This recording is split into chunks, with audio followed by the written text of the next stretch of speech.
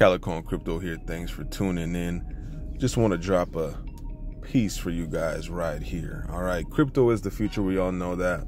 You got BlackRock, you got Vanguard, you got even Fidelity here. And this is what's real interesting, right?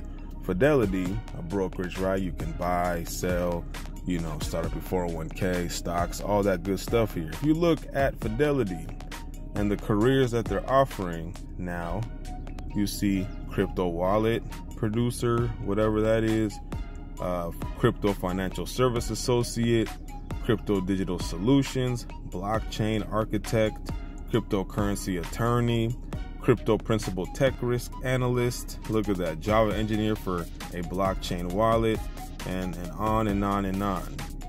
This right here proves to you that we are going to be moving into what? The fourth industrial revolution. Crypto financial associate. I mean, crypto jobs coming through to the big money firms, right? The big brokerages, right? They know what the future is going to look like.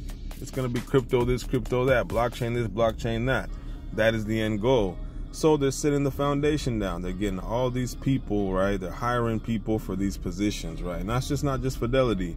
BlackRock, I think even Vanguard got job openings for crypto as well. So if you hear people say crypto's an illusion, crypto's this, that, and the fourth, dude, show them this video right here. Just say, hey, look, Fidelity, right? A big company is hiring for crypto positions.